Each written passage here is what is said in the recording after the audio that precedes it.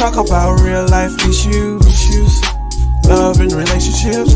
Let's have a good time with the missus, the missus. Yeah. celebrities. Let's talk about current events. Let's talk about things you don't see on regular TV. So join in on Tea Time. PG Tea Time. Tune in on PG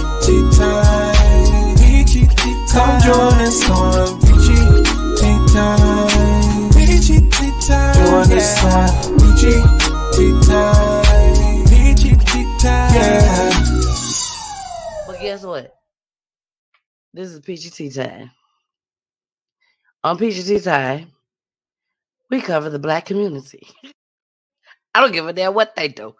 If it interests me, I'm showing y'all. I'm showing y'all flat out. Flat out, y'all. Flat out, y'all. What's good, y'all? It's your girl, the missus. The missus with the kisses, baby. Mm. Yeah, mm, yeah, it's me. It's me. It's still me. I told y'all. I told y'all. I did. If y'all be on my personal page, then y'all know all the ins and outs, all the backstage stuff, all that. I don't post everything on everything, okay? But if you are on my personal page, and I'm gonna tell I never tell y'all what my personal page is. I'm gonna tell y'all right now. I'm gonna tell y'all right now. Now y'all figure out how to spell it and do all that. But I'm gonna tell y'all right now what my personal page is. And if you go over there and follow me, I'll friend you back on Facebook. but it is Tennille Latrice Davis, baby. That's what it is. So if you go find it, then hey, you'll be able to get some special perks. Okay. So I did not go and get my hair done on Saturday. I didn't go. I didn't go. So I said, you know what? Brother Marquis coming on Monday. Brother Marquis is a celebrity, baby. Legendary. I gotta go do something. So y'all know me. I don't mind taking a hair risk. Brother Marquis, I don't mind taking a hair risk over here. Okay. But I did take a picture of it. Y'all saw it on my Facebook page, the personal page, and some of y'all saw it on IG just as well. And y'all was liking it. Y'all was liking it. Y'all were feeling it. Y'all said, okay, you and Kier did a good job. I told y'all my son was like, thumbs down, mom, thumbs down. He, he wasn't feeling it. He wasn't feeling it at all. But it's all good, baby. Y'all already know I'm gonna rock whatever I can rock. Okay. That's what I'm gonna do. So again, we have brother Marquis in the building of Two Live Crew. Yes, Two Live Crew. but he is here. We are going to talk to him today, tonight. Um, we can, we're gonna have some fun. Okay, we're gonna have some fun. We're going to talk about the journey of Two Live Crew. There is a couple things I want to ask him that I've been wanting to know just as well. But we're going to talk about all of that. And of course, we will be playing Rappers Delight. Yeah, I know. I always got to play Rappers Delight with my artists that come on. We usually play it on Saturdays, but baby, it's a legendary show. It's a legendary show because we got a legendary person here, okay? So y'all tune in, relax. Uh, we about to have some fun. Explicit language. I even got the little sign up, y'all. There you go. Explicit language. Explicit language. Mom Peach, if you don't want to hear the explicit language, you might not want to be on here tonight. but it's definitely gonna be explicit language, okay? So again, thank you all so so much for joining tonight. We are about to go ahead and get started. So I'm about to go ahead and bring the man of the hour up, baby. Okay, this is Brother Marquis from the group that we all love. and some of them hate. Okay, but we all love them, and that is Two Live Crew, baby. Here we go. How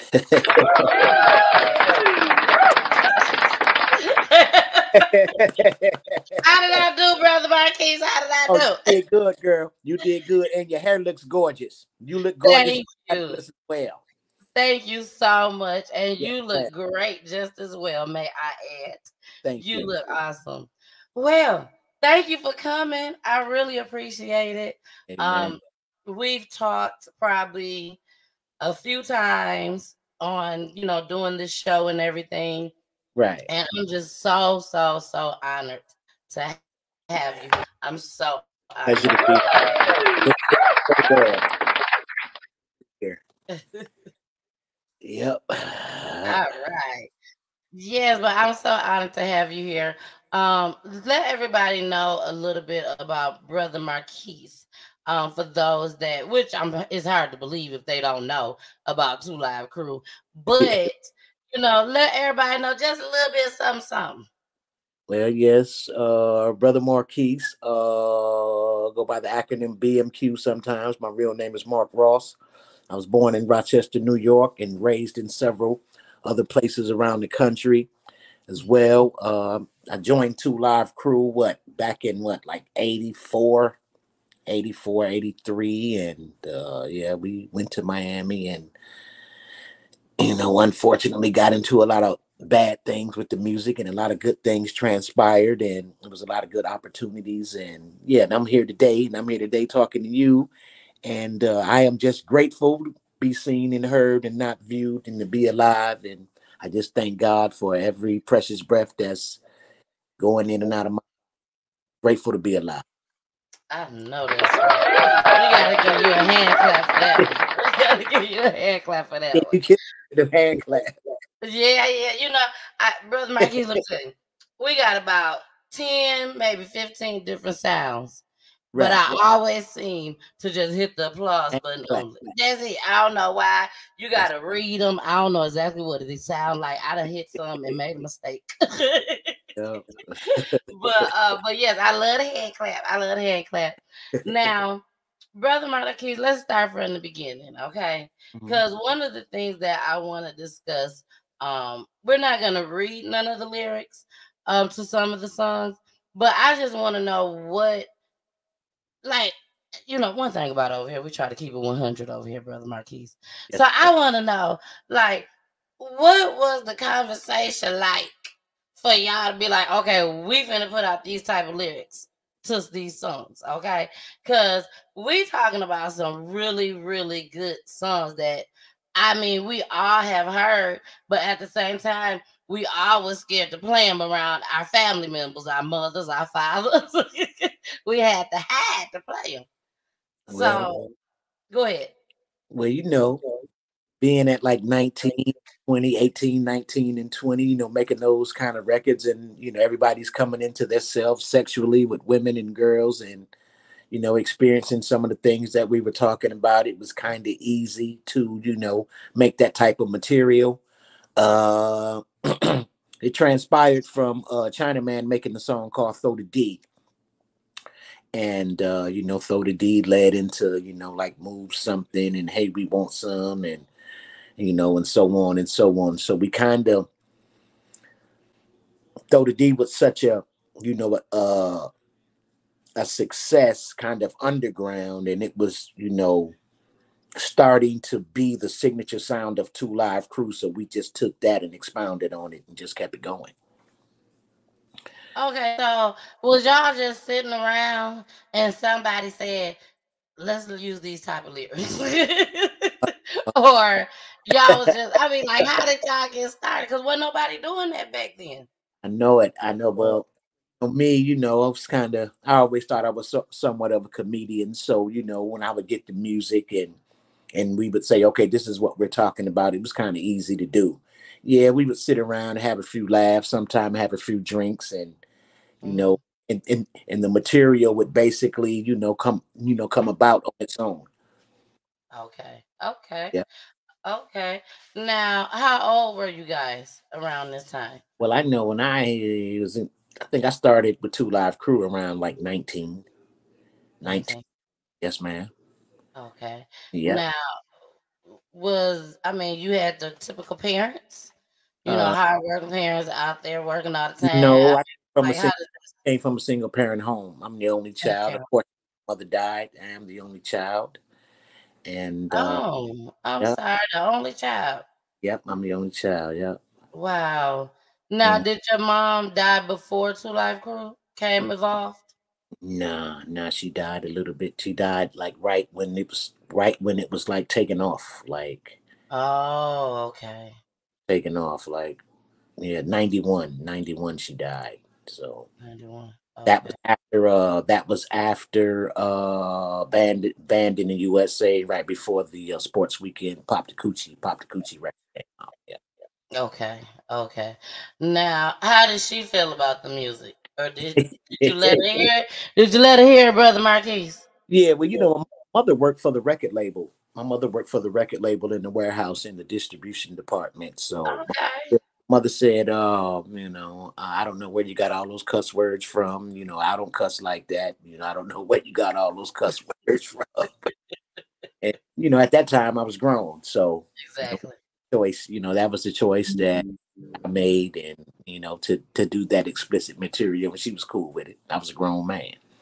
Okay. And you literally like no matter where you went, you guys went and performed at, you didn't feel no type of way. Like it yes, was just. It I- was the norm. uh, uh yes i felt um i felt kind of convicted a lot you know because it it it was more it could have been more to being an artist than just cuss words you know? It's easy to throw a cuss word in something you know what i'm saying? It's versus being a really good artist where you had to replace that word and i could have said something a bit more uplifting and edifiable and not so degrading and disrespectful and demoralizing towards women Mm. so, you know, sometimes it would get, you know, and then, you know, older people, of course, that really couldn't understand it. And then, you know, a lot of people in church, a lot of church women would say things to me, women of God. And I have people of God in my family, and, you know, and, you know, they would always try to, you know, tell me some things and and share some things with me that actually are are, are, are some stuff that that I do remember and I take with me right now as well. So yeah, yeah, yeah, yeah. But then again, though, being young and being young and foolishness and full of that testosterone and energy, it was fun at sometimes, and then mm-hmm. sometimes it wasn't. Okay. So what would you say as far as the new rappers now that's doing the same exact thing, same type of lyrics and everything? Not as bad, of course. You know, I, I still ain't heard nobody is use as much explicit language like Two Live Crew was, you know what I'm saying, back then. So for the rappers that's out now, no, serious, brother Marquise. I mean, I was baby, I was jamming. I was jamming, but when I pulled up by the house, I had to make sure I turned it down. So my Yeah. mom and them didn't hear the music, That's right. you that's know. But when we was out at the clubs, at the bars, at the um not the clubs, of course, but we would have Right. halls Right. and they would rent halls for us. And every time, no matter what we went to, They was- y'all music came on. Yeah. And yeah. I'm and I grew up. I, I'm in Atlanta right now, but I grew up in Michigan. Oh, I grew okay. up- Yep, I grew up in Michigan. Yep, in Saginaw, and Saginaw. Saginaw, Michigan, Yeah, I love right Flint. I love Michigan. I love Michigan. It's one of my favorite, Yep. favorite states. Detroit, one of my favorite cities. Wow. Yep, that's where I grew up at. So we heard y'all music all the time, all the time, and it was booty shaking music. That's To right. be honest, it was booty shaking music. You gonna get a workout each and every time. You ain't know you was getting a workout, but you was getting a workout. You was getting and work- an earful, and an earful at the same time. and an earful at the same time. Exactly. You know, but um, what do you feel about the artist now that feels that this is the only way is to use profanity, is to use explicit language like this? This is the only way that they're gonna make money because to be truthful, who don't want to hear a little bit of cussing here and there? a little bit of bad language. Well, it is what it is, and you know, I'm I'm I am glad to say that you know that I had went to the Supreme Court and won the ruling on censorship for the First Amendment rights for artists that came after me to really express themselves artistically and do not have to worry about being harassed by the establishment for the kind of material that they're putting out. So exactly. Here come a hand, here come a hand clap.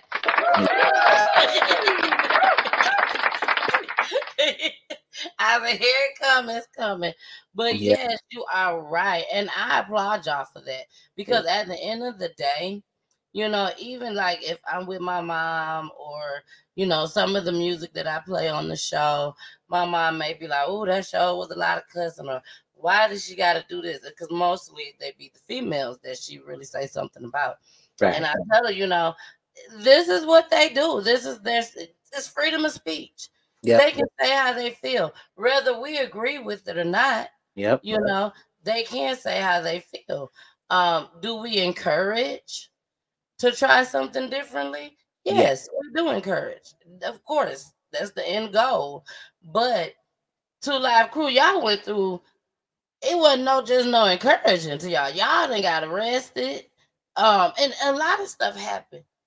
Mm-hmm. A lot mm-hmm. of bad things. Mm-hmm. And it was a lot of cuss words. One pastor told me, he said, I counted the cuss words on the nasty as they want to be double album, and it was over 375 usages of profanity. I was like, wow.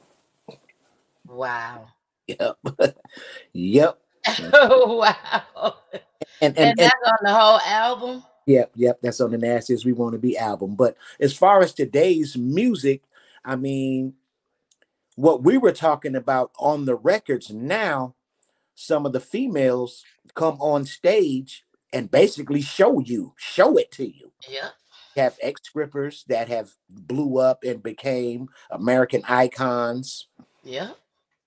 And then we have uh like college students that rap, female college students that rap with hardly no clothes on you yeah. know uh, uh, uh, and some of the material that they talk about is similar is similar to what we were talking about. They're doing as female. And then we have some of the guys coming in with the criminality part of it you know uh, drill music.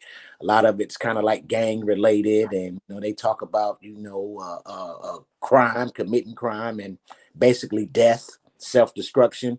So it's good and bad you know it's good and bad good and evil and some might say it's a necessary evil because over here in America, we have the right to say and do basically what we please. Exactly. Exactly. Yep. Exactly. And he's right, you guys. We all have the right to say and do as we please. But a lot of our concern is the children. That's right. children viewing it, them seeing it. Yep. Um, they all have cell phones, seem like now. So mm-hmm. they could go on these cell phones, watch whatever they want to watch. Mm-hmm. But some parents seem to blame the artist, which I is a 50-50 with me. That's you know, right. I feel like you should always watch your child mm-hmm. and be in tune in what your child is doing. Yeah, right. There's a lot of probably killings that's going on with these young people that probably could be avoided if the parents would step up and do what they're supposed to do as parents. That's yeah. how I feel. Yeah, you know yeah. what I'm saying? You're still gonna have something that slipped through the cracks. It all start, all starts. It, it all starts uh, uh, at home, and mm-hmm. it all starts the proper raising of the kids. Mm-hmm. Yeah, I agree 100. percent I agree 100. percent Now, do you have any children, brother Marquis? Yes, I have a daughter. I have a daughter. God damn. Graduated from college she has her own business. Damn, damn, damn, damn, damn. I had to use explicit language. Yeah. Uh, all the stuff you went through, was you scared when you found out you was having a girl? yes, I was. Yes, I. Fortunately, she she she came out. She came out to be, and she's grown into be one hell of a woman. Awesome. They go to head clap. Hey! Shout out to Brother Marquis' daughter, the awesome girl. yeah, the girl name is uh, Raven Ross. You can follow her on Instagram, Pilates by Raven. Uh, right. had a she had a reality show on Netflix called Love Is Blind. I think she was on the second season, possibly. Uh, I think she- Okay, yeah. yeah. So yeah, she's doing the thing. She's definitely doing the thing. She's out, travels around the world, and yeah, you know, she's. I'm really, I'm really proud. I'm really proud of her. That is awesome. That is so awesome. Um, now I'm finna say something. I don't know how you're gonna feel about what I'm finna say, brother Marquise. But one thing about me, I gotta keep it 100 at all times. Okay. Yes, man. Now, I I did some research. I did some research, and you went on somebody's show who I just don't like. I just don't like. and I'm finna tell you who. Vlad TV. Right. And I'm finna tell you why. And you tell me if I'm wrong in any type of way. But I find that it's so many people, black men, okay, we're gonna leave the white folks out of this one, but black men that always go on that show, and it seems like they tell too much of their business, brother Marquise. Like I said, I keep it 100. They tell too much of their business. And it, and when I say their business, I'm talking about incriminating stuff, business. Yeah. And it's like how this man can sit here and get all this information out of y'all, and I, it just don't make sense to me. Like they be saying some incriminating things on there to this man, and he just asks it so freely.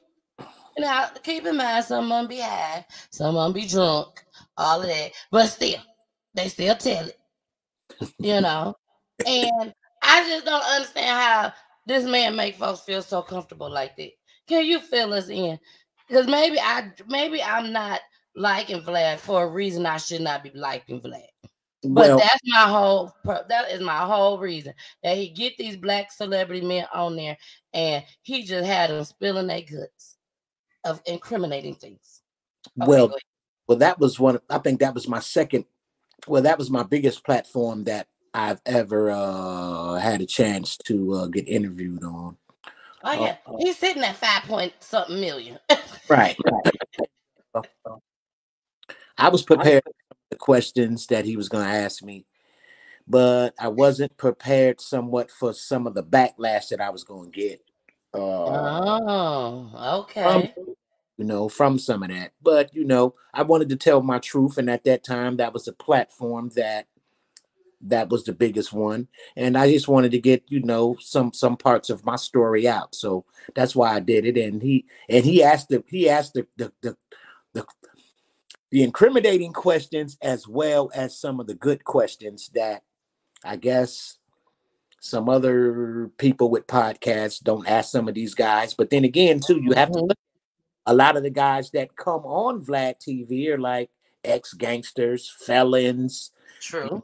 imps, you know, and and and uh, been, been into the underworld, so to speak. So Yeah, so they don't care. you're gonna get. That's what you're gonna get because you know they're ex felons now, and and a lot of them that that that go on that particular podcast, uh, all of that stuff is behind them. So I guess they feel free, feel free enough to share their experiences. You know, and ain't nothing wrong with sharing your experiences because you can possibly hurt, help somebody. I say hurt somebody, help somebody by sharing your And experiences. and and Bla- Vlad wasn't uh he wasn't all bad to me. He wasn't all bad to me, and No, your in- your interview was perfect. and and and a lot of people, a lot of people after I did that interview said, "Yeah, we don't mess with Vlad. Vlad is the feds, and the feds watch Vlad, and he might tell on you." But then Vlad is interviewing people uh, uh, uh, that are somewhat snitches. you know what I'm saying? For I follow him and I and and I watch. So you know, I. I, I thought that I answered the questions to the best of my ability, and uh, you know, and that was what, sure and that was the interview where I didn't want to hide anything. I Yep. think you did an awesome job. Right. Um, like I said, I watched the interview. Um, I love the part when you I don't say I hate to say I love the part, but when you talked about um Luke shooting at you. Right. You know what I'm saying? I remember that part. And to me, you was able to break everything down right. um in your in your tone, in your voice. You see what I'm saying? Right. Like this is all the way you felt about the situation. Right. You know, um, a lot of stuff. Like I said, I didn't even know. Well, Yeah. I didn't know why the group was no longer together. Mhm. Um, with two live crew. Can you let everybody know that here? Because I know some people probably was wondering, like, what happened? Was it because a new era had came out and y'all just had to let go? No, we could have kept going because you know after uh after what nasty nat I mean uh sports weekend pop that coochie I think that was our last album and then we came back with uh Friday a couple of years after that which was a uh a uh which we were a part of a platinum album and that was a, a single uh that was a single that vi- that did very well. So we probably could have kept going. It was just that at that time I think Luke probably thought that we were becoming a burden to him because if you go back and look at a lot of uh two live crew stuff and like i had watched luke luke luke uh did um he did a little thing on uh he had a he had an interview on um little thing they did on him on a&e channel and he said that we became jealous of him by not being mindful of the fact that I stuck in there and hung in there with him after he locked me in the Pac Jam and shot at me with AR-15 full of blanks. Mm. So if you say that I was jealous of you, you shot at me, bro, at, at a young age. I still was an impressionable young man. You know what I'm saying? I'm looking for brotherhood. You looking at us like a lick. And if you still, and if you were to go back and look at some of the interviews that we had, like on Donahue, I'm on Donahue, and uh, especially Arsenio Hall, both times that we were on there, that uh, Big Brother Luke did not even let us participate in uh, those kind of interviews and that kind of publicity. Uh, uh, uh, we only got a chance to participate in that perform and in, in those type of things performance wise. And you know, I put Arsenio Hall name in the record, so you know, I feel as though I could hold a conversation with him on national TV. But he yeah that's right you know what i'm saying it, it was a lot of little petty childish things that were taking place that i was not comfortable with so they labeled me as the troublemaker but i still hung in there bro after you shot at and then i still uh, uh i made Hoochie Mama with you after you pulled the gun on me so and then when you kept then when you kept that kind of uh publicity away from us i still was rocking with you so i don't think that i was jealous of you and it was more of a dislike than jealousy. But if you mix it all up into one, you can call it whatever you want to. But Mhm. but Luke, you know, I don't remember me asking Luke for anything. Like like on these many hands, I ain't really asked you for nothing. I didn't even really want nothing from you. But in exchange for all of that, you still shitted on me and and, and drug us and treated us really bad. Like we were just uh there in Florida to be used to help you with your shit. And we started off as brothers and we started off as business partners and all of that. But when all of the money, I guess, came about and the the controversy and all the attention and exposure came about, you just tried to distance yourself from us. And uh, I didn't think that that was cool because all that we've been through, how are you just going to try to take everything from Two Live Crew? And remember, and remember now, before the Vlad interview, Luke would always get these interviews and say that he did everything. That's my music. I did everything. That's my record company. And I used to just listen to him for years. But what really brought me to the forefront of all of this, and you know, and, and I'm, I'm in mind things I might want to elaborate on, is is the way that he uh did Chinaman after he died. You know, BET was a little BET event in Miami, and they had a segment honoring Chinaman, honoring him. And Luke just took all of that for himself, did not really honor Chinaman in the way that he was supposed to be honored by a fellow bandmate, even if you didn't like us or not, even if you, you know, had an idea to use us and enslave us, like you talk, like you always said, yeah, I'm slaving these niggas. These niggas is green. They come from California, New York, and everything. They green, and I'ma fuck them and I'ma nail them to the cross and fuck them. I'ma make their lives miserable. That was always his whole get down. uh, uh, I didn't know if he was on some kind of like bad spirituality, bad spirituality, because a couple of times it was some weird shit that he would do. Like I'm gonna take you, I'm gonna take y'all pictures in there to the root lady and have them throw some kind of voodoo on you. Then I would share rooms with him, and I would wake up with like eight or ten gold chains around me, and that was some weird shit. So I stopped fucking with him like that. no, you didn't. You know what I'm saying? I know you did. Yeah. and I'm getting all of this, and they're like, "Yeah, we don't. They, they, they'll put, you know, I guess Lucas Bahamian or Jamaican, so you know they talk that old."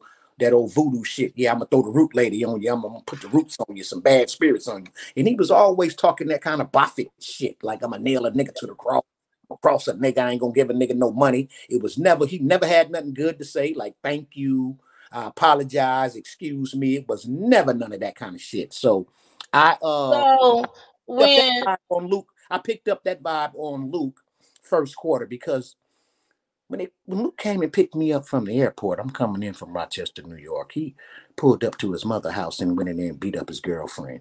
And I'm like, bro, I don't know. Got back in the car. I'm like, bro, I don't know you, man. You in there as black men, we don't supposed to beat up, or we don't supposed to put our hands on black women. And it's just Miami, you know, so you got to do these bitches down here, blah, blah, blah, kind of shit. So, you know, then then then it was other things that was transpiring, you know, while we were mm-hmm. on the journey to where I would see some of Luke guys rape women. And and and and and they had made they thought that shit was kind of funny. You know, they'd slap a girl around and do the pickup in her hand and take her from door to door and let guys have their way with them. And then they made a song about it called Big Man's Pussy. And I'm like, these niggas is really, really crazy. And it's one more thing that I want to add to uh for Brother Luke. Because he might not look at this interview because he might not feel that he has enough uh, views for him to expound on what I'm saying. But if I were to jump on Vlad, you know, with five million uh, viewers and shit like mm-hmm, that, mm-hmm. he gonna have something to say. But uh he made mention to uh in the uh A and E interview, which uh Nas narrated the interview. I'm a big fan of Nas, so I really commend it from doing for doing us. But Luke was like, uh, yeah, I didn't have no money to bury my mother.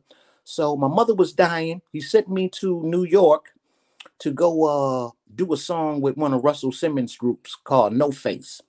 And I'm hanging out with Russell Simmons, and, and I like Russell Simmons. That was one of the highlights of my career. And uh, you know, they told me, yeah, make sure you get your uh your your uh your collaboration fee from Luke and all of that. And uh Luke didn't even pay me for that collaboration for that feature. Uh, uh, uh, but yet again, if he would have paid me for that feature, or if he would have paid us the amount our proper amount that we were supposed to be oh. getting from all the shows. I oh. could have been mother real comfortably, but he never did do that. So like he was just whooping us all the way across the board and then talking about it. Yeah, the nigga couldn't bury his mama. That's because you couldn't pay me. If you would have paid me, if you would have paid me for that feature that I did, I could have buried my mama properly, and you, and you wouldn't even had to come to the funeral or had anything to do with the burial of my mother. So I, I just wanted to expound on that. And you have a very beautiful mother. I met her. She was a very nice lady. She also slipped out and said Luke is rotten and he's very selfish. And she also said, Yeah, Luke, you ought to take care of that boy right in front of him. You know what I'm saying? These people ain't never did nothing for you. did nothing. You, you need to stop, you know, treating people like that in, in in in in in so many words, so to speak. So he was just a fucked up, dirty nigga from the get down. you know what I'm saying? But you know, we stuck in there. I stuck in Are there. you still, brother Marquise? Are you still angry with him? Uh, Keep it one. Keep it one. Try that. He shot at me and pulled the gun on me, and I still fuck with him. And then he'll still get on, and then he'll still get on some of these interviews and tell a lie. So after the Vlad interview, and I'm gonna shut up. So he went live. He went live and trying to check. You ain't got to shut up. You shut up. This is your time. He blocked me out told some lies that he didn't hit women, that that uh that he fight niggas. And yeah, he probably did. But I remember one time a female whooped his ass in his own nightclub. And so he was just telling a lot of lies, trying to make me feel, you know, trying to fuck me up because I went on Vlad, said that he don't know anything about Vlad, but he was on Vlad in 2015. So I'm just like right here, bro. All you gotta do is just say you didn't give a fuck about us uh, because we weren't from Miami. You favored Miami people more than you favored us. We were the bread winning act on the label, which was supposed to be all of our label together. and you just, you know, you just took everything from us, bro, and dogged us and dehumanized us as black men and fucked us around. But you're gonna get on these interviews and lie about it. All you got to do is say, I got them niggas in Florida. We started a record label. I told them we was brothers and I loved them. And when the money and the fame came, I fucked them. And that just would have been it. That would have been it. That would have been it. Anyway, So, wow, that was a lot. I didn't know you were gonna come out with all that. But so Yeah, who therapy. y'all start Two Live Crew together? Pardon me? Did y'all start Two Live Crew together, No, or did Luke start it first? no, Two Live Crew was formed before I jumped in the group and before Luke in the group. Oh, before both of y'all got in the group. Yeah, yeah, yeah. So, you know, I was always more loyal and more favorable to Mr. Mix because he kept his word and put me in the group. He was like, when anything pop up, anything pop up with this music shit, I'm gonna holler at you, I'm gonna put you in the group. I was in Rochester, New York in the dead of winter, He gave me a ticket to go to Miami, and unfortunately all the bullshit started happening. But we Okay. made we made history throughout that journey. So it is- Now the people of the group, you showed them made history. Everybody go through something. that's right. Everybody go through something. Everybody go through something, but you know, People need to talk about it more for the healing for themselves and to show other people. American people the truth, bruh. I mean, don't don't get on here and try to hide like you got a squeaky clean image like Jesus and the Obamas, which you don't. You know, just tell American people the truth. These people are watching. These people are watching these uh, uh podcasts. They want to hear the truth, and people respect the truth. People, respect the truth. somebody just pulled up on me last night and say they saw the Vlad interview for the first time. You know, so I got on I got on Vlad and I told the truth. You know, Luke gonna get on there and just say all kind of crazy shit about me and lie about the situation. Like, you know, he really gave niggas millions of dollars. It wasn't like that. It was not like Mm, mm, mm. Yep. Well, I'm sorry you had to go through all of that. I really am. all right. Uh, my- not over. You got to go through something. Exactly. There you go. You ain't never lied about that. Well, I want to get into a little um a small commercial break. Uh, when we come back, I told you that we do talk about crime on my show. Right. So I do want to show you a small little clip so we can touch on that just as well, okay? All right. So, So, uh, huh? how long is the break gonna be? Oh, just probably about two minutes. if that. Right. I'm gonna go use the bathroom and I'm gonna come back. Okay. All right. All cool. right. Okay, y'all. We're gonna get into another commercial. Um, I apologize, y'all, for the explicit language. But you know, like he said, this is healing for him. You know what I'm saying? So I applaud him for coming on here, telling his truths, you know, because a lot of us want to know what happened with Two Live Crew. So um, let's get into this little quick commercial. Hey y'all, it's your girl, the missus, the missus with the kisses, baby. Mwah. Y'all enjoying the show? Is y'all enjoying the show, baby? We are getting it in each and every Monday, 9 p.m. Eastern. We are on Roku TV. Make sure you subscribe to my YouTube page. Make sure you follow me on my Facebook pages. And also follow me on Twitch and IG just as well, baby. Each and every Monday. Each and every Monday. Where I'm solo dolo, baby. Unless I got a special guest. But I love y'all so, so much. It's so important that you share these videos. So please continue to share. I love you all. Bye.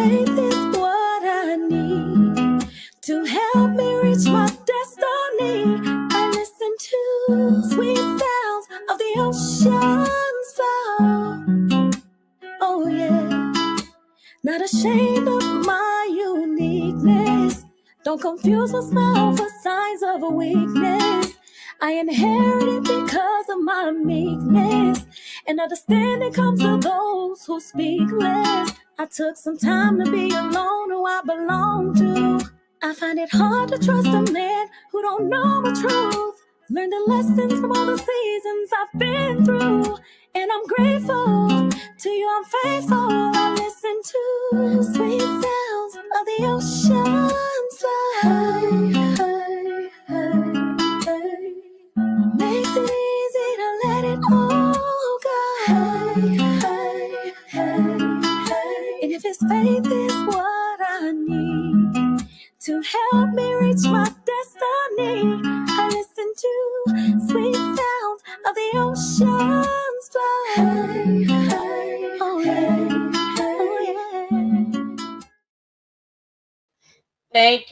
guys. Thank you so much. Um, I must say this. Um, my started PGT time. Uh, I'm trying to fix my hair. Yeah, there over there. When I started PGT time, um, I was at the radio station. I was at the radio station. Um, I love music, all types of music. So that's why I play music on my show. That's why I have artists on my show, celebrity artists and independent artists.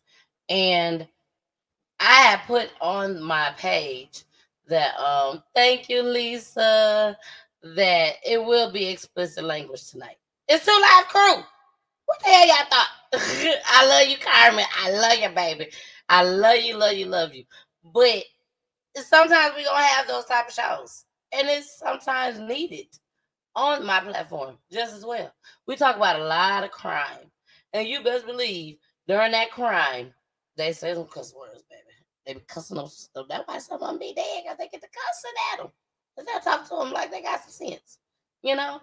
So again, I'm so so honored. I am so honored. I wouldn't care if Brother Marquise came up here and sung his songs. so like her, baby. I am honored. I'm thankful that he is here. Like he said, it's healing for him just as well, just for him to talk about this.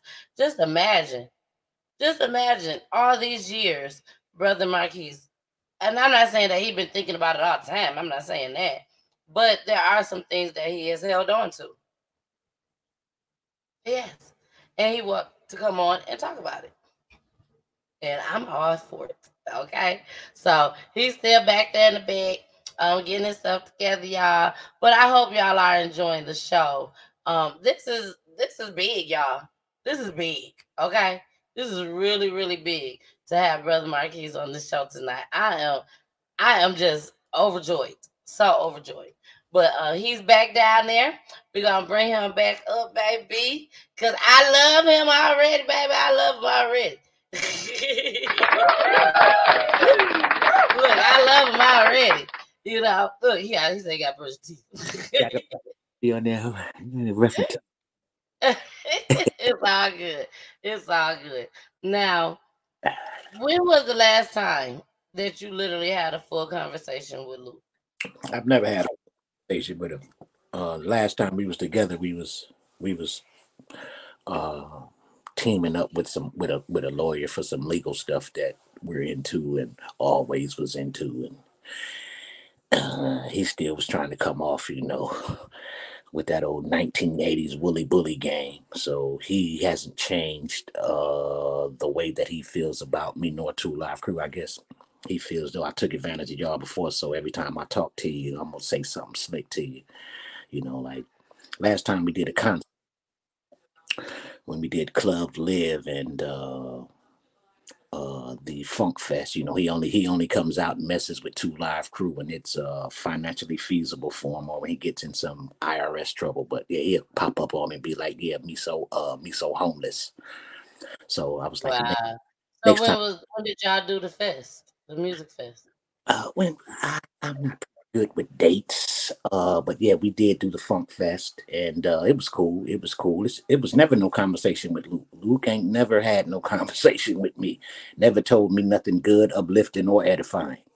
Or, you know, he's older than me. He never gave me any kind of words of encouragement or nothing.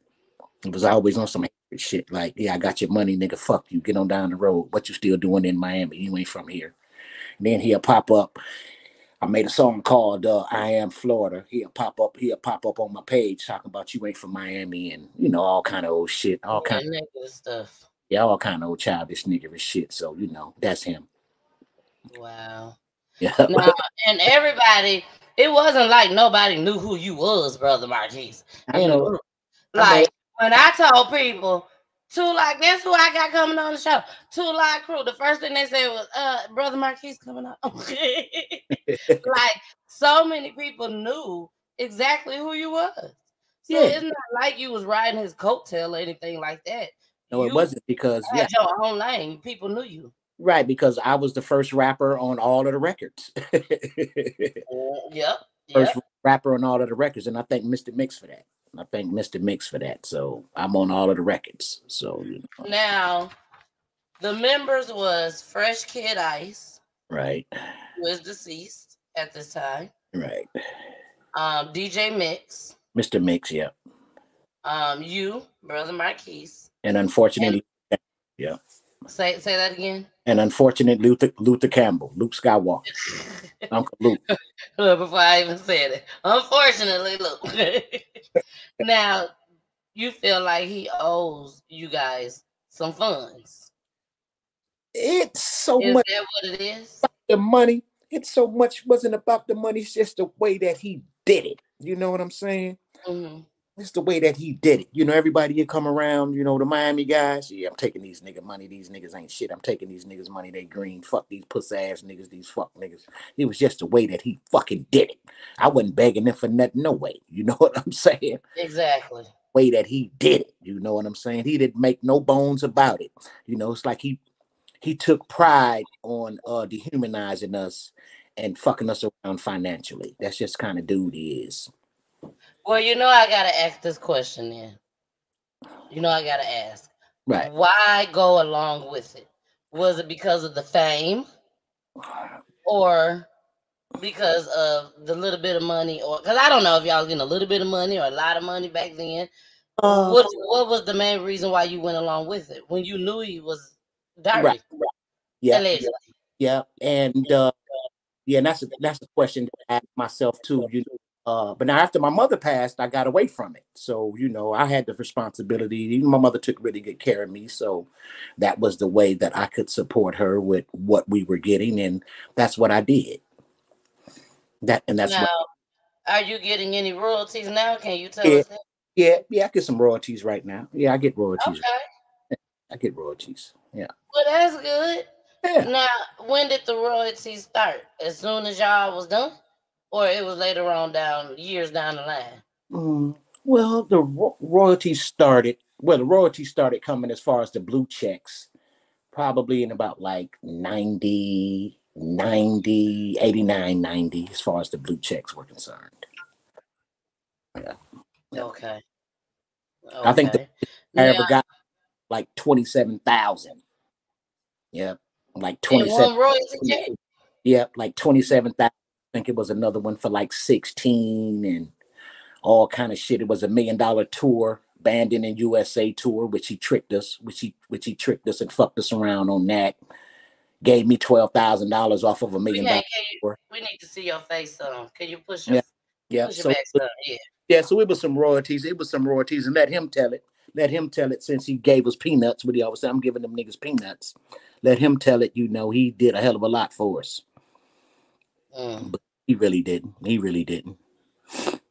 Now, do you feel like this is something that you didn't realize until later on in life?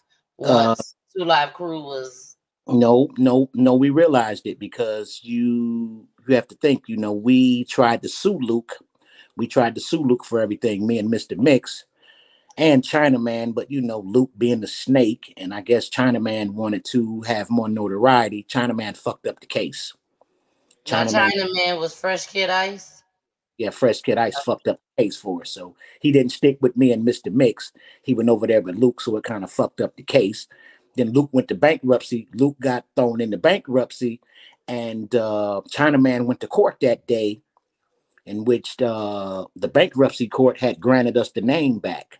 but Chinaman went and made a uh, uh, a dirty, shitty move with Joe Weinberger and sold Joe Weinberger the name. So uh, you know, I don't want to too much expound on what Chinaman did because you know he died, and I still had a lot of love for him.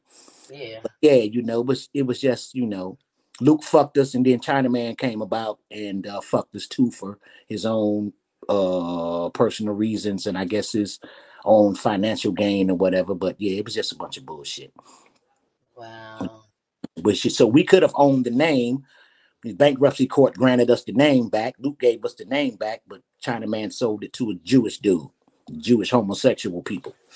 Yeah. And uh yeah, and that's that. That's basically that.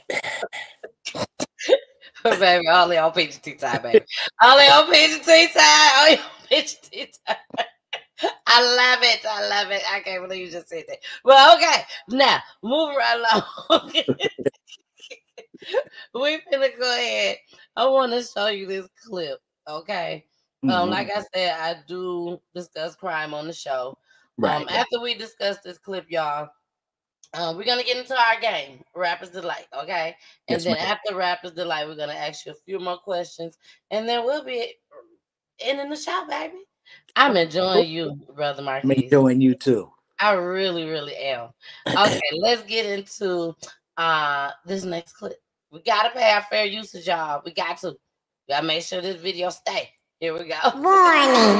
Federal law allows citizens to reproduce, distribute, or exhibit portions of copyrighted motion pictures, videotapes, or video discs under certain circumstances without authorization of the copyright holder.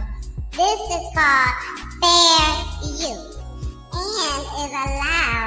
for purposes of criticism, news reporting, teaching, and parody, which doesn't infringe of copyright under 17 USC 107. Also breaking, three students from Langham Creek High School arrested, and the moment is caught on camera. The Harris County Sheriff's Office now launching an investigation based on what that video shows. ABC 13's Miya Shay is outside the school with what we know tonight, Miya. Yeah, it's important to know we're here at the sheriff's department because the investigation here is ongoing. But this incident happened last week when a young man by the name of Christopher Willis had run out of gas. So he did what any high school senior might do call his friends. They showed up at where his car was stuck, which is at 529 in the Copperfield neighborhood. And at that point, sheriff's detectives showed up and tried to pull the kids over. What happened after that is caught on cell phone video. And as you're about to see, the young man in question, I actually talked to him today. He said he was in fear of his life. The cell phone videos shared by a concerned dad on Facebook shows a Langham Creek High School senior being pulled out of his car and then thrown to the ground. Seth Palumbo was on his way to get gas for a friend whose car was stalled out on 529. But the video shows Harris County Sheriff's deputies aggressively pulling Palumbo out of his own car while his two friends recorded the incident. This afternoon, the Harris County Sheriff's Department released a statement in part after reviewing the videos. We are investigating the incident to determine if any policies and procedures were violated. One deputy has been temporarily reassigned pending the outcome of the investigation. We take these matters seriously and will ensure a thorough investigation is completed in a timely manner. And actually, two out of those three uh, kids were charged with crimes. Uh, Christopher Willis, the kid who ran out of gas, it's on here. He's charged with misdemeanor for impeding a roadway, basically for being stuck in the middle of 529. The other young man, the young man you saw on the video, Seth Palermo, he has a more serious charge. He has a felony charge for uh, assaulting a peace officer. I spoke to him at length today. He is a young man who says he's trying to make it to college and he's worried that all of this uh, will really distract him from that. His parents are exceedingly upset, but because they're facing serious criminal charges, their family attorney has advised them not to speak on camera for now. But they have, certainly, as you can imagine, a lot of strong opinions. We're live downtown. Miya Shay, ABC 13.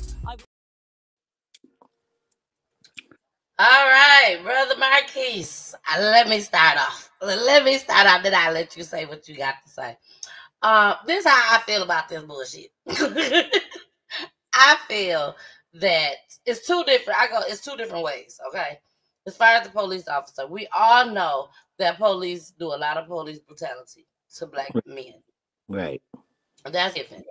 You know, um, it's something that we are trying to get stopped, um, but it seems like we're failing at it, to be honest, because they're study doing the same crap to us. Study doing it. Now, as far as on the other side, Brother Marquise, I'm sure them officers told him to get out the car. Right. They didn't just pull him out. They probably told him, get out the car first. And I feel like parents need to tell talk to these kids. You know, we're watching the news as adults, but what if these kids isn't watching the news to see that these officers will blow your head off right then and there? Right. So I'm saying what they tell you to do, let mama and daddy figure it out afterwards. If they send you to jail, you go to jail. mom and daddy come get you. Somebody come get you. You'll get out. But don't sit there and fuss and cuss and fight with the police officers because you don't want to be handcuffed and go to jail when you know you ain't did nothing wrong. If you know you ain't did nothing wrong, stand on it. True enough, stand on it. But at the same time, you have to do what these folks tell you to do, unfortunately, because it could cost you your life. Right. Okay, go ahead. That's all I want to say on it. Well, you know, sometimes uh, parents uh, do not have that black man police talk with their kids. Yes. You know, it's a certain way that uh, black people, especially black men, have to uh, interact with the police. Now, think too, some of these police officers are coming home from, you know, uh, the military, such as Afghanistan, Iraq, Yeah. and uh, a lot of police are scared. A lot of police are scared of black men, especially the black youth nowadays. So they're already, you know, pulling you over, you know, thinking, you know, thinking the worst because they're trained that way. So if we don't comply to what they're suggesting that we should do on a minor traffic stop, then the whole shit gets blown out of proportion and it and it turns into something dangerous. Exactly. Exactly. I agree with you 100%. Mhm. Um, what do you suggest that these young people do when they get pulled over by a police officer? You know, first have, if you don't have the problem, just be cool. You know, you got to break. I got pulled over the other day, and I'm like, "Hey, how you doing, officer? What's going on? You got your license? Yeah, you know I got my license. Bam, all right, check my license. I can go. It's a way that you have to interact with the police. Mhm. Back in the days when I was a teenager in uh, Riverside, California, the police picked me up and uh, yeah, called me all kind of monkeys and everything. Took me downtown and the whole nine. yeah, so it all depends on the individual. It depends on the police, the character of the police, and it depends on the character of the suspect as well. Exactly. Now, just like they say dogs smell fear, Right. I feel like officers smell fear just as well. Yep. So sometimes, and I'm not, I'm not even gonna say sometimes, a lot of the times, a lot of us is just scared.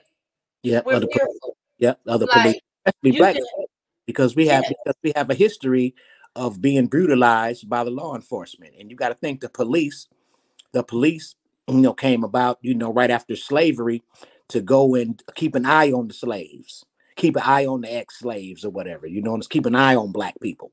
They were they were slave patrollers. The police, Mhm. so you know, all Exactly. and that brotherhood, they still try to carry that shit on. But fortunately, now we got we got camera phones and people are filming, you know, minor traffic stops and and and any kind of thing that the police are doing out here uh uh, uh with black people and anybody and anybody uh, uh as far as that goes. Exactly. So they're not getting away. So they're not getting away with a lot of shit that they used to get away with before technology. exactly. Exactly. Now, as far back to the fear, um, when you have people that basically have nothing to be fearful of, like myself, I'm not finna ride around with drugs in my car. You know what I'm saying? Because I don't do drugs. You know, I'm not finna ride around with illegal weapons in my car. Because Right. my weapons are registered. Right. saying? But brother Marquis, I'm still scared when the police lights come behind me. Sometimes my kids could be in the back seat playing with a light, and I get I jump and get scared. Like, oh my gosh, it's the police. I've never been to jail before, ever Right. been brutalized by the police. But it's just some people out here that is fearful of the police. And a lot of young people are just as well. So the reason why I'm saying this is if you're gonna sit there now, if I'm telling you that we all scared of the police and they smell the fear, why ride around with drugs in your car? Why ride around with a suspended license? Why ride around with weapons in your car and you know you're not even supposed to have what be around weapons? You know, why ride around with weed in your car when you know it's not legal in your state? Yeah. You see what I'm saying? Hey man, uh that that's how it is out here on the streets. It You know, is. How It it is. It's always been like that. And and you know and you can ride around with with weed and drugs and and illegal guns and everything and be cool and the police don't even mess with you but you know right. You're right. sometimes police will pull you over when you got everything on you Exactly. Now you do know that um in Detroit it's legal. yeah right It's legal, and not only is it legal, um, it's legal for recreational too. right yeah detroit You have, yeah yeah they have the uh they have the dispensaries in detroit exactly. They have dispensaries in a lot of places. yes they you do know, but even in Detroit or some of these other places where it's legal at, you still got people locked up in jail for it. like, what sense does that make? I, I think from from what I gather off of the news, I think it's still a state law and it's still some type of federal law. Like the state might be a little bit more lenient. Okay, it's cool. You can use marijuana. You can have up to an ounce on you. You can go in a dispensary and get it. But something to do with all of that bullshit. The federal, the federal part of the law doesn't feel like that. So I don't know, some political shit. exactly. But I'm gonna show you something, brother Marquis. I don't know if you watched my show on. I don't think you did, but I played this on my show on Friday. Friday was 420. Was it Mhm. Friday? I think it was Friday. I played this. Was 420 Friday? No, it was 421 was on Friday. Yeah. So let me make sure. Yeah, 421 was on Friday, and I have a show every Friday. Me and my husband. So I played this clip. Hilarious to me. Hilarious. My mama said, because my mama watches the show too. She on here. She said, "Hey, uh-huh. that mom, we call her Mama Peach. We call her Mama Peach on the show." Each. Now, when I showed Mama Peach and everybody this clip, Mama Peach was like, "This is a hot mess," but I- I'm gonna let you watch this. Okay, I want you to watch it. This is 420 in Detroit on the news. I'm here on the west side of Detroit celebrating 420 Day. It is, uh, hey, Jay, Jay It's a beautiful thing, man. Beautiful thing. Smoking on the news. Smoke it, man. Hit it, Charlie. You hit it, man. Hit it, Charlie. that holiday, 420, April 20th, celebrating everything hot. How are you celebrating it today? Like this, you know what I'm saying? Smoking weed, you know what I'm saying? Get high. yeah. Everybody on the bus. Like many on the Weed Bar bus from Eastern Market to here. Its first stop at the Detroit Herbal Center on Detroit's west side. Free weed. Who wants the weed? And many happy that this year, smoking pot for recreation is legal and business is good. Business been good. Yeah, you making You know money? I'm? I can't complain. Is it cheaper now? Heck yeah, way cheaper. I'm saying like the game saturated now. So like everybody can afford it. And further on the west side, on the corner of Warren and Greenfield, the Herbalist Cannabis Company is celebrating. 420, the holiday uh, that only matters to a lot of people in Detroit. 420, 420 all the time. It's not just today, it's mostly every day. And with all this pot, most places are giving away free burgers or Cinnabons or sandwiches. How was it? Charlie, listen to me. I ain't gonna lie to you. Amazing. You gotta grab one of them Jones. So, with the munchies satisfied, feeling good, it's back on the weed bus for another 420 celebration in the D. Look at me, Mom. I made it. On Detroit's west side, Charlie Langton, Fox 2. That's why I love our black people. I love our black people, baby. I love our black people. you know, just a few years ago, just a few years ago, we look, No brother smoking- Marquis, Smoking on the news. I'm smoking weed on the news. baby, he said it's a beautiful thing. It's a beautiful thing. And you know why it's a beautiful thing? Because just a few years ago, they had to do this. Yep. They had to get the hell on. Oh, yep, yep. I love it. I love it. Look, Bob. Look, Bob. I made it. I'm He smoking. said he made it.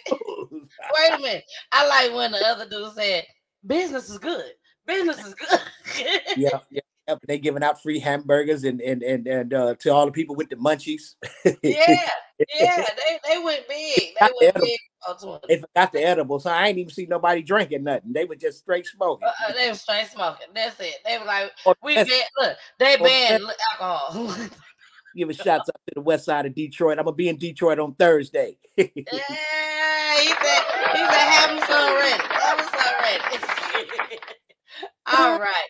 Now we must play our game before we leave tonight. We gotta play our game, Rappers Delight. Um, I told you all about Rappers Delight.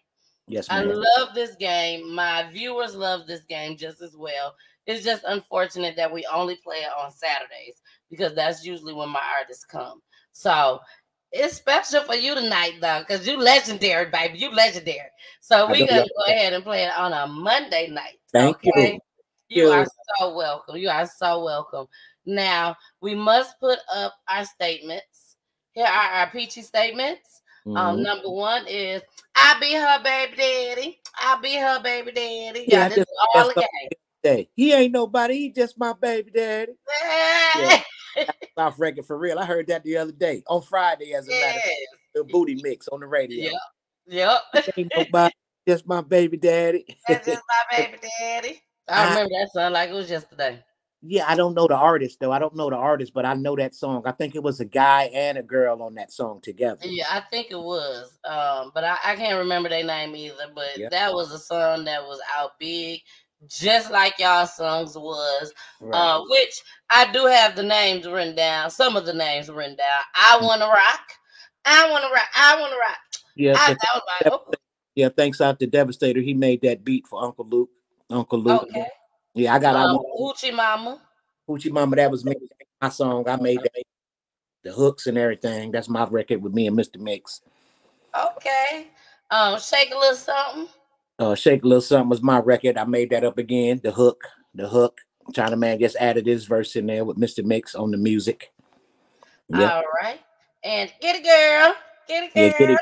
The girl was my song. I got that from my uh, deceased auntie, one of my favorite aunties. Uh, I used to hang around with her while she was playing cards and dominoes, talking smack to her girlfriends. It's just like, get it, girl. Yeah, and that's how I got that one. Yep. Okay. Uh, me so horny. Yeah, me so horny. Yeah, that's my song too. I wrote that song in its entirety. I told Mr. Mixx what to do uh to the record to put the record together, and that was that was our biggest record. That was our biggest I was record. just about to say these are hits that That's you're right. saying that you wrote. That's right. Yep. Yep. Wow. Uh, pop that coochie. Oh, that was Chi- course, that wasn't the name of the song. Yeah, that was China Man's record right there. Yeah, he brought that out Okay. to table. And uh that's my favorite that's my favorite two live crew song. Tell you the truth. Wow. Yeah. My I think mine is uh, my favorite one is I Wanna Rock. That's Mhm. my favorite one. And then I would have to go with um Get It Girl. next. Right.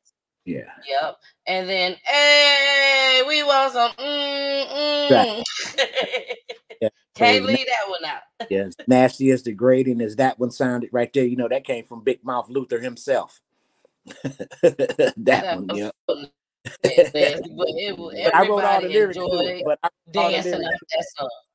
Yeah, but I wrote all the lyrics. to it. Okay. Yeah. Wow. Well, congratulations. Congratulations. You know, because at the end of the day, regardless of the lyrics, you that guys still made history That's in the hip hop community. That's right. Exactly. That's what it's all about. Right. That's Yeah. right. On Now, the so rap music. there Yep. you go. Now we have I'll be her baby daddy. Um, I'll marry her just because. Just because I'll marry her just because. Um, number three. Yep, number two is I'll marry her just because. Okay, I number see. three is I got a collab. I haven't heard that one. I'm not. I don't know. Um, number four, she can be one of the two live crew dancers. And Okay. number five, she can come to a two live crew room. Okay. So, yeah, these, these aren't songs, these are statements. Right. So, what we're going to do is I'm going to show you one person. And Mm-hmm. what I did was I found the people what they looked like back then. Right. Okay. Yes, what ma'am. they looked like back then. Okay, so they be look a little young, but you was young back then too. Okay, so here go the first person. That's Yo Yo. Yo, yeah, yeah, it is Yo Yo Yolanda Whitaker. Yes, She's Yolanda. Whitaker. Yo Yo. Yeah, Yo Yo. What time? Big shouts out to L.A. South Central. She went to school. She went to school, middle school with my cousin. I All seen her in the right. Yep, I seen her in the yearbook. I for told you, you gonna know all these people. Sir Jinx. Yep. now, which one would you give Yo Yo? I'll be her baby daddy. I'll marry her just because. I I gotta collab with her. I gotta collab. I gotta collab with Miss Yo Yo. collab. Yep. I got All right. Yo Yo. Yep. Okay, so he is collabing with Yo Yo. So we're mm-hmm. gonna take out. I got a collab. So because you can't use it again. Yes, So ma'am. we're gonna take it out. All right. And we're gonna move on to the next person. The next person, you ready for the next person? Yes, ma'am. When I tell you this girl sliding through, she sliding through like a little leprechaun. She in all green, baby. All green. Oh, that's Little- little. That's Lil Kim. That's yeah, Lil that's Kim. little Kim back then. That little Yeah. Kim back then. Lil Kim. She was sexy back then. Yeah. She- Yeah, Lil Kim was definitely sexy back then. Yeah. She was doing her thing. You Female to? rapper. Yeah, yeah. She said you got some pretty eyes in the Brooklyn accent. You want to talk? You want to talk? yes. Yeah. So which one would you what statement would you give for Lil Kim? I'll be her baby daddy. Uh I marry her just because she can be one of the two live crew dancers, or uh she can come to the two live crew room. Uh, come to the two crew room because I was on the floor with her when we had concerts together with Big Mr. Mixx Biggie Smalls. I was on the floor with her. I had a I think I had a Colombian girl with me at that time, so I really wasn't paying too much attention to her. But I always thought she was sexy and she was short and cute. Short and cute. I I, told y'all this is a legendary show. Okay. we have a legendary person on the show tonight. And this is celebrity edition. Okay. He said he knew Lil Kim, but he just wasn't checking for her at the time. Because he had somebody else at the time that he was checking for. so we got to go. We got to go with number five. Number five is out of the park, baby. So what we got left is I be her baby daddy. I marry her just because. And she could be one of the two live crew dancers. All right. So here go the next person. Oh, Queen, uh, that's uh, no, that's uh, Roxanne Shante. Look at you. Yeah. I know you would know all these people. Damn it. I knew it. yeah, that is Roxanne Shante. Now, what do you know about Roxanne Shante? She's a beautiful person. Shawnee's a beautiful person. I enjoy her in the car on satellite. She's a beautiful human being. Uh, So Yeah. so far, these all the people, women that I have shown. You've met these women before. Yes, ma'am. Yes, ma'am. It shows with back in the days. Awesome, awesome. Well, I think I did my thing then. Yep, yep. Uh, what we now, got? what we have left is I'll be her baby daddy. Mhm. I'll marry her just because. Yeah. And uh, she can be one of the two live crew dancers. So, uh, I got a lot of respect for Shani. I know she married right now, but probably back then I probably would have married her, and we probably would have had some kids. She wasn't playing none of that two live crew dancer shit. Don't try her like that. You'll probably get slapped and cussed out. it's like she get cussed Yeah. out. Playing, yeah, yeah, she ain't playing. So you're gonna go with I'll marry her just because. yeah, that's that'd be little wifey back then. I know she married right now. Big shouts out to her family and her beautiful family and her kids and her husband. Awesome, awesome. Hey, Roxanne Shante. Honey, right there, yeah. yes. All right. So we took that one away. So you have two left. Um, I'll be her baby daddy, and she can be one of the two live crew dancers. Okay. So let's take down Roxanne Shante. We got two people left, and here go the next person. Uh, that is uh has to be right there. I think that is. Ooh, I think I seen her to uh Monie in the Middle. Yep, Monie Love, baby. That is Monie Love. Money Moni in. Oh, definitely be her back. That Monie's sexy. Monie is sexy. I seen her in Miami at Publix. She was in there. I was shopping and she was getting kids. I didn't know she lived in Miami. She was getting groceries for the kids, and she is still she is still beautiful with that sexy British accent. exactly. Yeah. I think she got a radio show, if I'm not mistaken. Yeah, Monie in the Middle. Yep, yep. I seen her at Publix. I seen her at Publix. Yep. She still she still looks good. She still looks. Wow. Mhm. I always thought she was sexy, little sexy short little thing. Yep. Yes, everybody loved Monie Love. Um, she was dope back in the day, Yeah. just Yep. as well. Um, like I said, she's still doing her thing on radio allegedly, um, right now. So shout out to Monie Love. Shout out to Monie, Monie Love. Now, our last person. This is our last person. And you have to pick number four for the last person, which is she can be one of the two live crew dancers. Are you ready for this? Yeah. Brother yeah. Love, are you ready for your last person? Yes, ma'am. I am. Here we go. You know her. Oh, that's Queen Latifah. Definitely not gonna be one or two like She already got a gun. Definitely not. Look, look, she ain't Queen- even going Queen- for it. Yeah, that's Auntie right there. Queen Latifah. She cool. She cool. Who you calling a bitch? So whenever, whenever I saw Queen Latifah, I made sure I was on my perfect gentleman shit for her. She's a beautiful human being. She's a beautiful human being. She's a beautiful human being. Yep, yep, yep. yes. Yeah. So all these ladies that we have, I have shown you tonight. You have been in the presence of these ladies. Yeah, Um, the- this game was truly just for fun, but Yeah, I yeah. know that you have nothing, nothing but good things to say about each and every one of these ladies. all of those ladies are beautiful, phenomenal, and, and they did their thing. And you know, Queen Latifah has went on, man, to become, you know, big in movies and film. Yeah. Yep, and uh, man, man, uh, Roxanne Shante holds down the satellite, satellite, Yeah. love, money, love is you know like a, a housewife, soccer mom type. She's still beautiful. Lil Kim is still gorgeous as well. I think she's married. So big Yeah. shots, her family and her kids. Exactly. I don't know if she's married, but I know she got a little girl. Right. Um, I think her name is Royalty or something like that. Right. I can't remember. But Right. um, I, I really studied these young ladies and really wanted to make sure that um I came across some young ladies that was back in your day. And Yeah. people like, well, what you mean back in his day? Back in his day, like this. Yeah, yeah, yeah. was Back in his day, like this. Yeah, I was young and wild back then. Move something. Yeah, there I go. Yeah.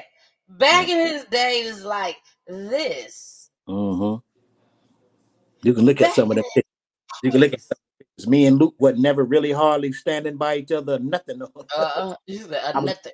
be by Mr. Mixx. He the one that put me in the group, kind of protecting me from Luke. now, what I want you to do is when I show this next picture, what's the first thing that comes to your mind? Uh, now that probably was a good uh good time. I think that's probably we were at the MTV, the MTV Awards, and that year we had all of that controversy, but they kind of twisted it around to make it seem like it was all about Madonna, which I didn't care nothing about. And at uh, I met the Kennedy, I met the Kennedy daughters that year.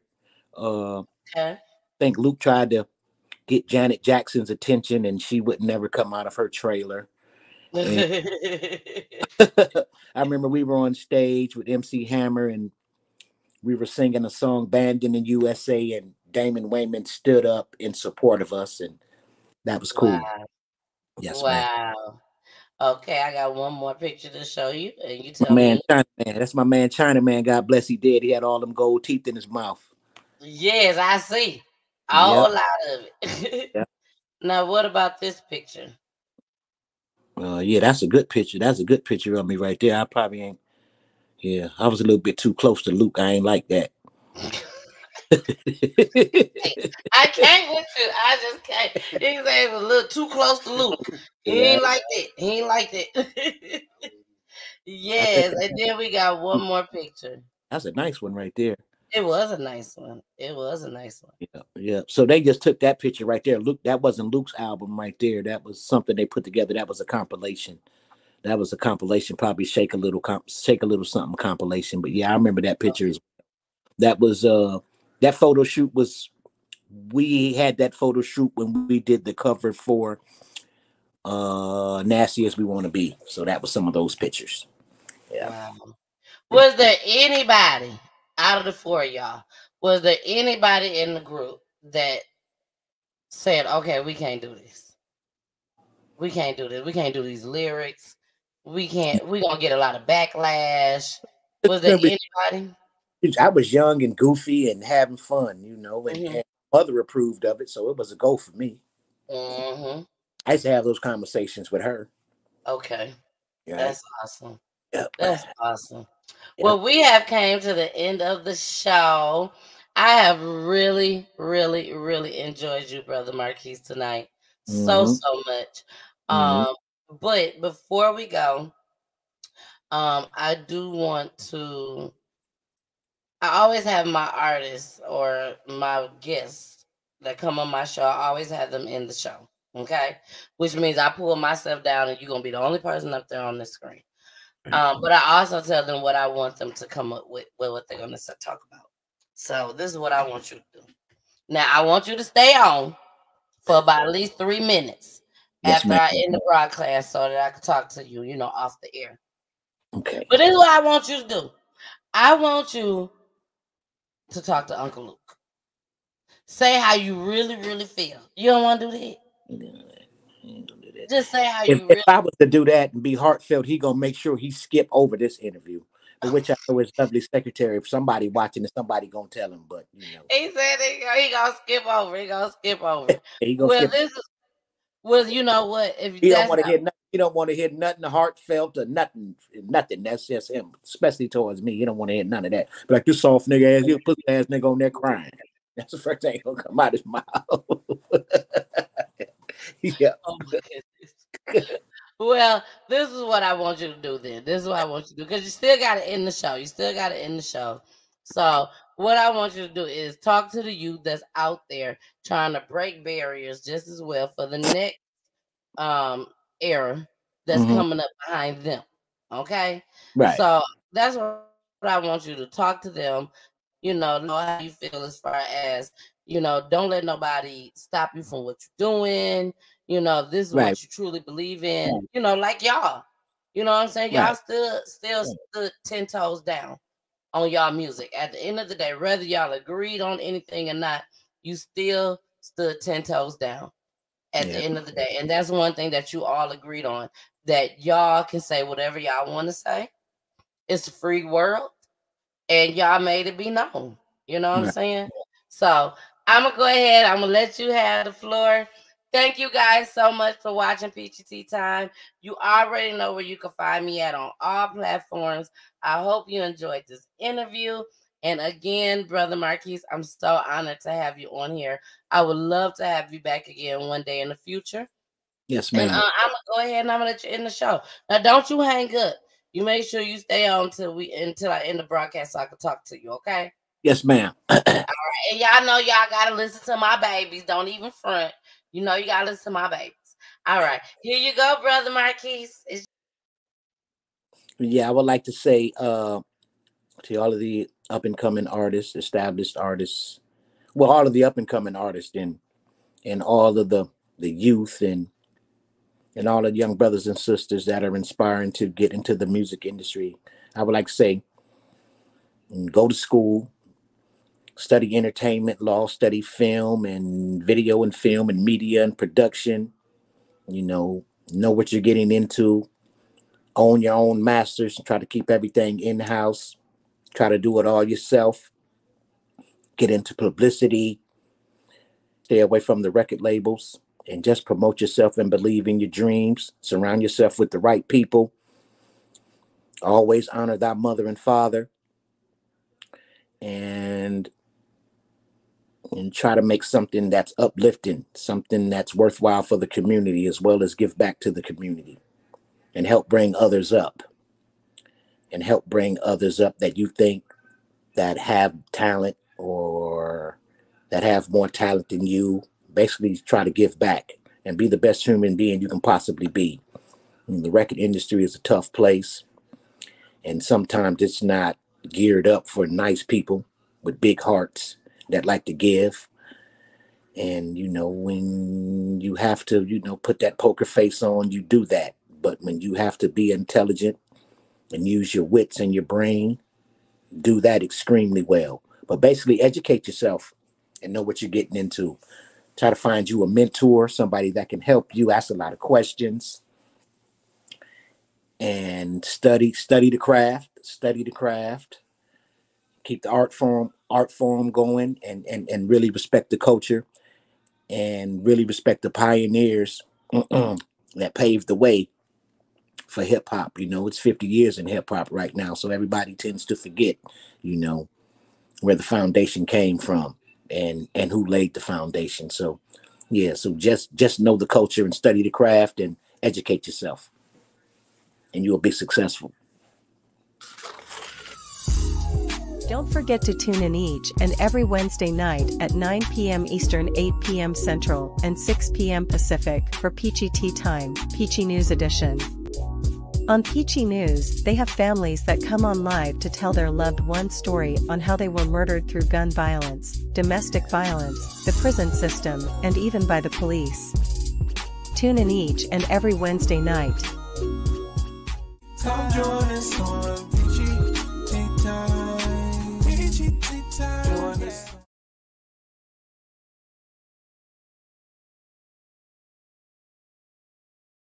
All right, we are out of here. that doggone mute button. We love you, brother Marquis. We love you. We love you. We love you. And thank you so much for what you have done in the hip hop community, baby. We love you, and we will always remember you. Believe it. All right, y'all. Listen to my babies, and then I finna talk to brother Marquis for a little bit. Uh, He my new friend. Yeah, he my new friend. Bye.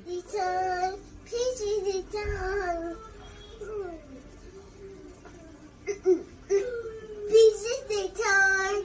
Pidgey time. Pidgey time. Thank you for watching my mommy show.